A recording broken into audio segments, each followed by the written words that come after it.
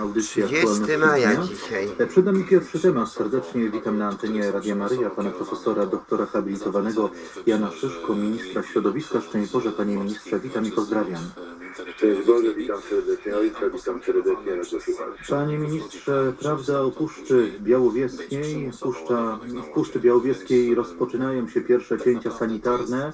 Jednak spór wokół sposoby, o sposobu ochrony tego lasu nie gaśnie. Wiemy, że na początku czerwca do Polski przybędą unijni eksperci, przedstawiciele UNESCO, aby rozmawiać o sytuacji w Puszczy Białowieskiej. Tak, rzeczywiście o Puszczy Białowieskiej rozmawiamy, rozmawiamy już od dłuższego czasu. Rozmawiamy zarówno na forum Unii Europejskiej, jak również i na forum UNESCO. Dlaczego? Dlatego, że Puszcza Białowieska ma różne formy ochrony. Między innymi na terenie Puszczy Białowieskiej wyznaczone są obszary Natura 2000, które są niezwykle ważne z punktu widzenia prawa unijnego, jak również e, Puszcza Białowieska została wpisana na listę dziedzictwa e, przyrodniczego świata. I te cele są troszeczkę inne, ale żeby to dokładnie zrozumieć, e, staram się to tłumaczyć e, w układzie międzynarodowym i mogę powiedzieć, że 23 maja, czyli w poniedziałek, byłem zaproszony przez komisarza Wele do Brukseli. Tam trwało takie sympozjum, sympozjum na temat korzyści płynących z lasu. Jak generalnie można powiedzieć, to było wielogodzinne sympozjum. Byłem zaproszony jako panelista w takiej sesji podsumowującej i tam powiedziałem to, co było swego rodzaju no, yy, jakby odkryciem. Dlatego, że w tym układzie unijnym, zresztą podobnie jak w Polsce, generalnie sytuacja jest pokazywana tak, że Puszcza Białowieska to jest y, nietknięty ręką człowieka obiekt, gdzie Polacy w tej chwili chcą jakby niszczyć ten obiekt przyrodniczy i chcą go wycinać. Otóż Puszcza Białowieska to jest z jednej strony Park Narodowy, Białowieski Park Narodowy, ponad 10 tysięcy hektarów i z drugiej strony trzy nadleśnictwa gospodarcze, nadleśnictwo Białowieża, nadleśnictwo Brod i nadleśnictwo Hajnówka, gdzie prowadzi się normalne działania, albo inaczej prowadziło się normalne działania w ramach e, działalności gospodarczej. I te lasy były użytkowane przez człowieka, zresztą podobnie jak Białowieski Park Narodowy, z tym, że Białowieski Park Narodowy został stworzony kilkadziesiąt lat temu. Jest to jeden z najstarszych parków narodowych, jeszcze przed wojną, a później po wojnie dalej jest parkiem narodowym poszerzonym, gdzie prowadzi się dokładne badania. I tu okazało się, że na terenie tych trzech nadleśnic zagospodarowanych, które zostały włączone do e, dziedzictwa przyrodniczego UNESCO, Unia Europejska ma swoje, no jakby swoje prawo również w zakresie Natury 2000 i tam były wyznaczone zespoły, albo to się mówi środowiska priorytetowe z punktu widzenia Unii Europejskiej i tam występują również e, gatunki ważne z punktu widzenia Unii Europejskiej.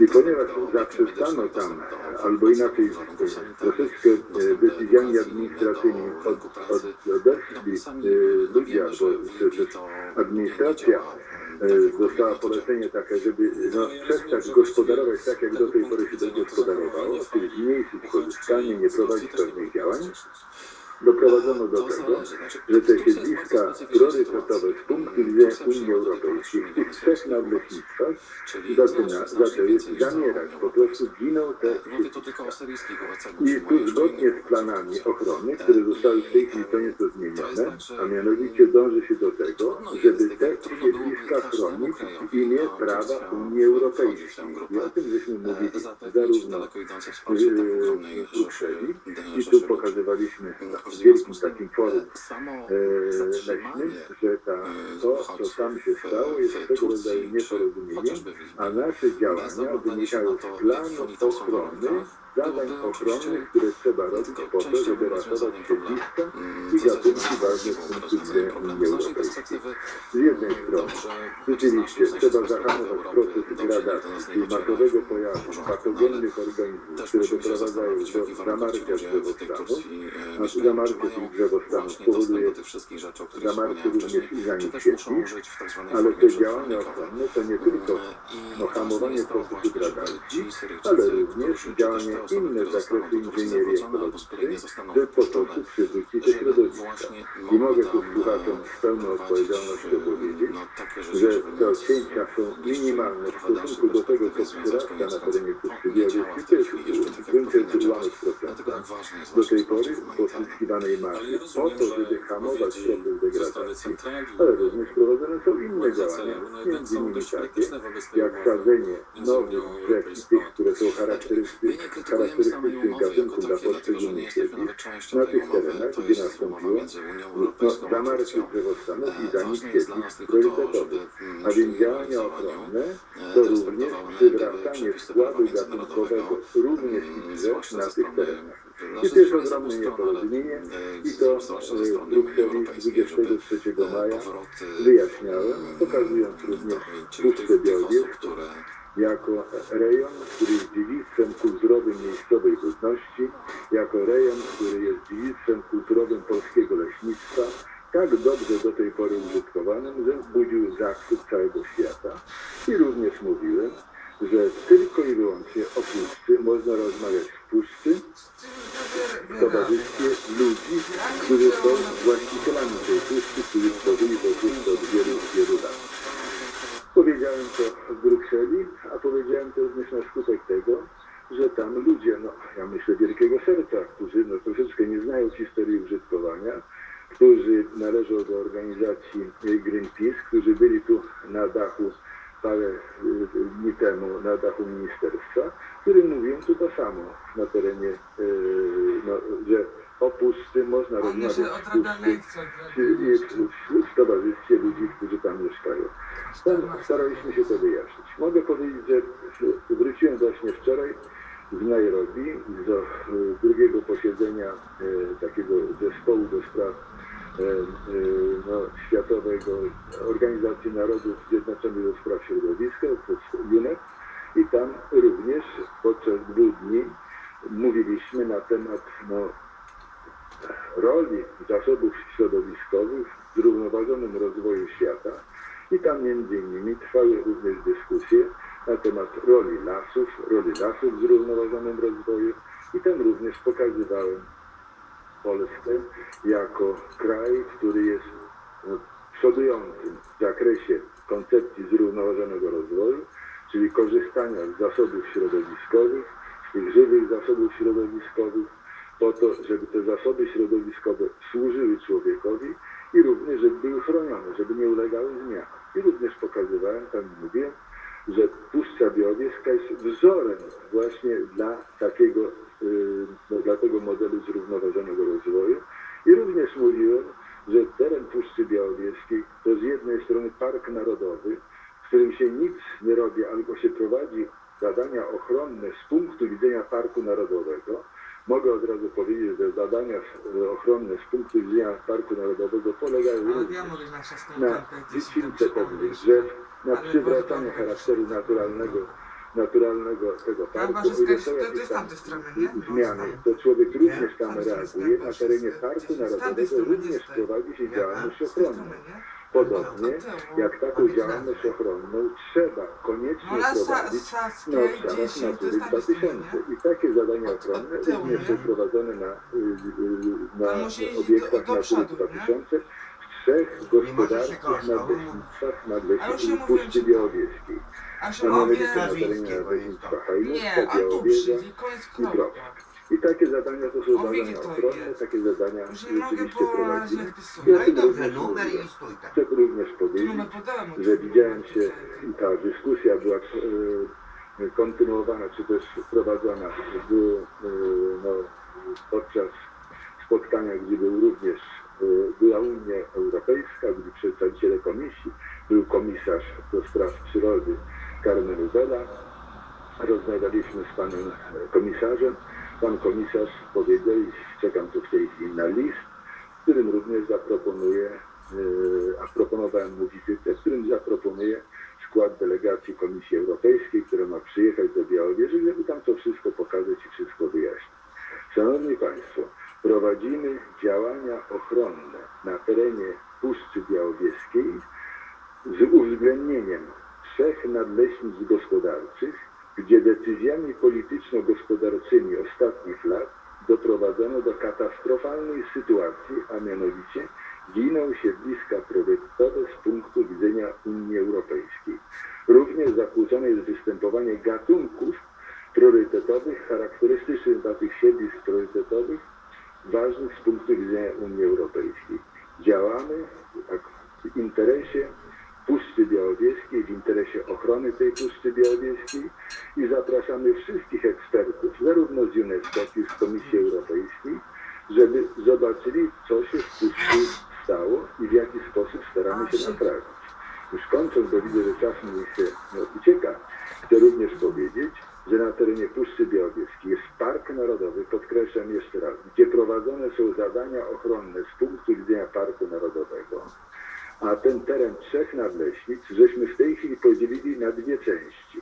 Jedna trzecia tej Puszczy Białowieskiej to tereny, tak zwane tereny preferencyjne, gdzie nie będziemy prowadzili w najbliższym czasie najmniejszych działań, najmniejszych działań związanych z jakąkolwiek ingerencją człowieka w stosunku do tych zasobów przyrodniczych. A na dwie trzecie powierzchni będzie, jest poddane w tej chwili zgodnie z prawem zadaniom realizacji zadań, znaczy realizacji zadań ochronnych, gdzie zadania ochronne to nie tylko usuwanie tych drzew, które zamierają i są rozsadnikiem chorób, ale również zadania ochronne, posadzenie drzew i takie sadzenie drzew rozpoczęło się wiosną tego roku. To jest uprzątanie, no, albo inaczej wycinanie drzew, które grożą przy drogach, zamarłe drzewa, które są, grożą przy drogach na tym, że przewrócą się, no i może być nieszczęśliwy jak? wypadek w stosunku Chodź do tutaj, chodź tu. poruszających się tam ludzi. Weź, ale nie, nie zarówno, wodą. no, Piechotą, ile chodzą po lesie, jak również przy drogach, które są drogami komunikacyjnymi, to po prostu musimy i wykonać. Zapraszamy wszystkich do tego, żeby odwiedzić Puszczę Białowieską i zobaczyć, co się stało z tym dziedzictwem kulturowym miejscowej ludności, z tymi drzewostanami, przepięknymi drzewostanami jeszcze 20 lat temu, które były sadzone ręką człowieka, które były pielęgnowane tą ręką człowieka, a ci ludzie, którzy to robili, do tej pory żyją i są mocno zaniepokojeni tym, co się tam na terenie Puszczy Białowieskiej dzieje.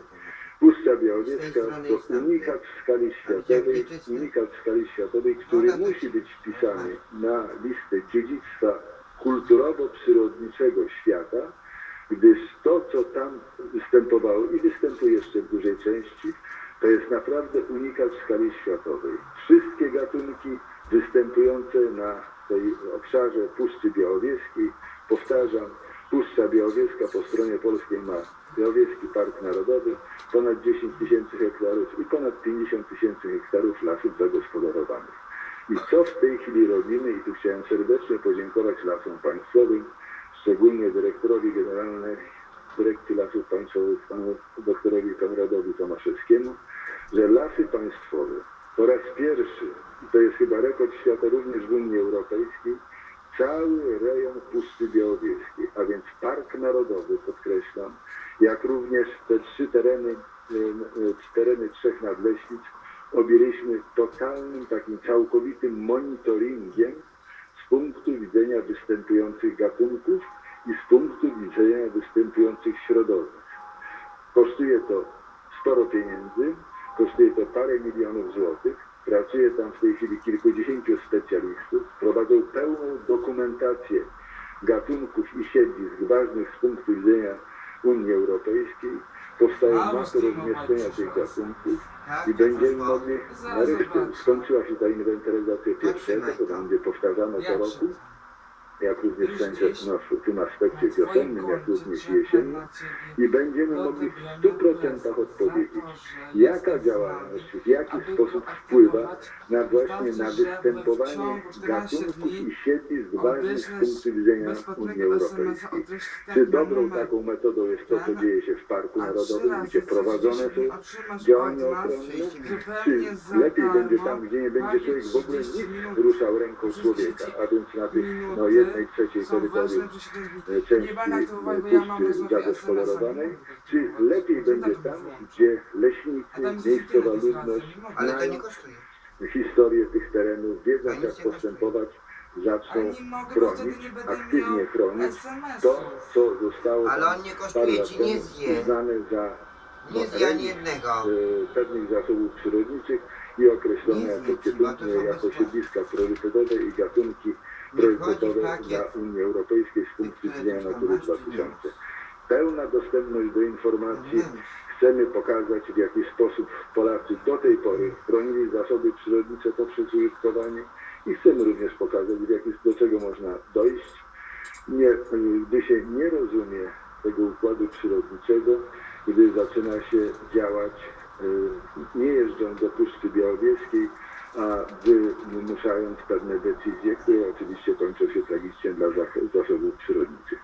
Proszę Ojca, Szanowni Radiosłuchacze, wszystko jest pod kontrolą. Jesteśmy w stałym kontakcie zarówno z UNESCO, jak i z Unią Europejską.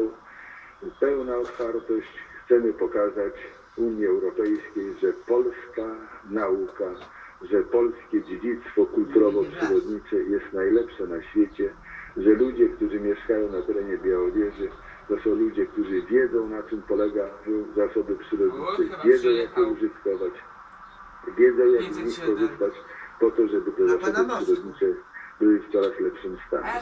W tej chwili sytuacja jest paradoksalna, dlatego że miejscowa ludność patrzy na to, jak zamierają drzewostany, które były sadzone ręką ich dziadów Także i ojców, Państwo a zobaczą. równocześnie nie mają Puszcza Białowieska i pół godziny gadania. węgiel. Pół godziny. żeby palić tym węglem I na tam terenie mieszkali ojcowie Puszczy i dziadowie Białowieskiej. i Bo Puszcza Białowieska Jeżeli byli rejony Puszczy Białowieskiej to umarli. nie A tylko co było lasy, i nie jest, ale to, to również proszę tereny Państwa, nie użytkowane wpisuje się w rejestr.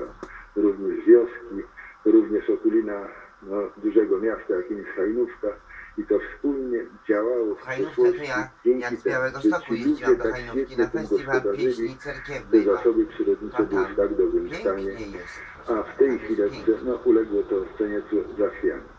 Nasza działalność, działalność resortu środowiska, jak również działalność no, lasów państwowych zmierza w tym kierunku, żeby nie zniszczyć tego, co zrobił człowiek w przeszłości, żeby pokazać, jak to Polacy potrafią użytkować te zasoby przyrodnicze, żeby pokazać, w jaki sposób jesteśmy liderami tego, co w tej chwili na świecie określa się koncepcją zrównoważonego rozwoju. I o tym mówiłem w Brukseli, zapraszając również specjalistów do Polski i o tym mówiłem również w Nairobi, mówiłem na terenie no, e, UNEP-u po to, żeby bronić honoru polskiej nauki, bronić honoru polskich ludzi, którzy świetnie gospodarzą zasobami przyrodniczymi. Polska to unikat w skali światowej pod tym względem, że jesteśmy w tym miejscu Europy, użytkowaliśmy te zasoby Unikat, tak, no, przyrodnicze. z Nie straciliśmy ani jednego z występujących dziko żyjących gatunków.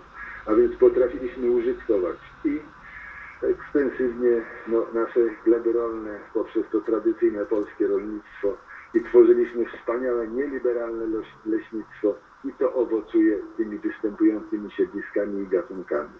I to jest wzór dla całego świata. Jesteśmy liderem i to trzeba pokazać i to chcemy pokazać i dlatego tak jesteśmy otwarci na wizytę specjalistów z Komisji Europejskiej, jak również z UNESCO. Bardzo dziękuję Panie Ministrze za ten komentarz, a my oczywiście, jak zawsze, słuchacze Radia Maryja, widzów telewizji Trwam, będziemy informowali na bieżąco o tym, co się nie tylko w Polsce dzieje, ale także w Puszczy Białowieskiej. Dziękuję ślicznie. Bądźmy naprawdę, jesteśmy dumnym narodem, a zasoby przyrodnicze nasze są unikatem w skali światowej. Dlaczego? Dlatego, że potrafimy je użytkować. Z Panem Bogiem. Bóg zapłać. Z Panem Bogiem rozmawialiśmy z Panem Profesorem, doktorem habilitowanym Janem Szyszko, ministrem środowiska.